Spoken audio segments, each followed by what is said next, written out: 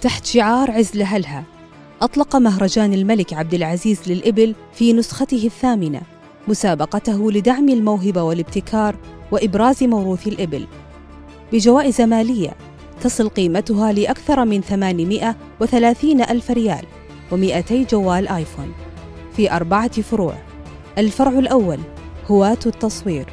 التقاط أجمل صورة حديثة للإبل في مناطق المملكة أو لفعاليات المهرجان. ومشاركتها على منصة إكس جوائز المسابقة. جوال آيفون. يقدم يومياً لثمانية فائزين. الفرع الثاني. محترفي التصوير. التقاط أجمل صورة بالكاميرات الاحترافية للإبل أو للفعاليات المتنوعة من موقع المهرجان. جوائز المسابقة.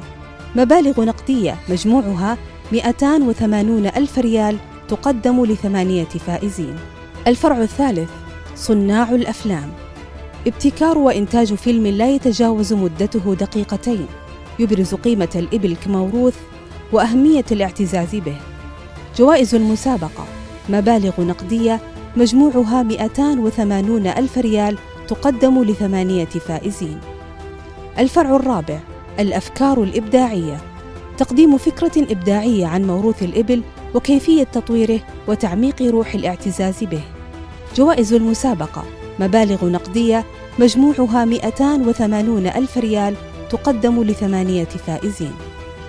حلق بإبداعك وشاركنا الآن.